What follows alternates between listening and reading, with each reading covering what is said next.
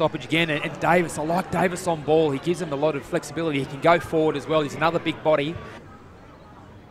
A shallow throw in. Brooksby won it in front of Lonergan. Over the top, uh, Helyar on debut was Bengoda Noble streaking through the middle of Hickinbotham Oval. Overcooked the kick, too hot for everyone. Cross now, gives it to Little. Little strikes it from 40 out. Little tight, Robbie. It was Well, that's right. interesting Yeah, there was. It didn't have much going for it in terms of uh, if it was in the AFL score review would have uh, pretty much uh, said no goal, but uh, he just lacked a little bit of uh, bit of touch there. He didn't quite get the. Zus set himself. Lee couldn't take the mark. Ground level ball. Was there a trip? There is, and it looks like it might be young Helyar, the debutant, who could finish his day with a goal.